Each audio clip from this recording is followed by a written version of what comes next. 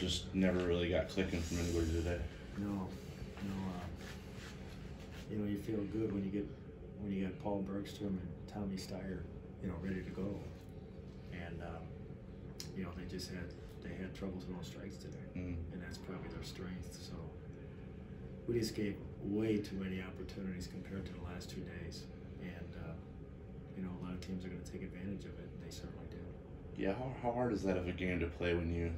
I think the bullpen get, put 16 guys on base. You know, not including the ghost runners. Obviously, like don't, that's not Right. that's not their fault. But how hard is that to manage? Like, how much fire are you playing with when that happens? You know, we we give up a four to one lead, and then we come back and take the lead back. Mm-hmm. and uh, you know we have a two-run lead, and you start to say, okay, we'll get this thing under control now. We had a little hiccup there, and uh, whoever we ran out there just couldn't stop it. You know, we just had, we just got behind hitters.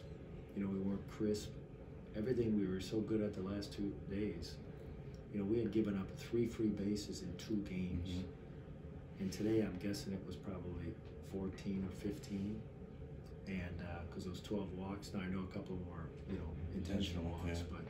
but um, you know, we hit two or three guys as well. So, um, you know, it's one thing if if you have young players in situations like this, and you can understand them, you know, not being prepared for it. But you know, we had the right guys in there at the right time, and um, we just have to learn. We, we, we don't play as well in these tight games. You know, we're two and five now in one and two run games. Mm-hmm.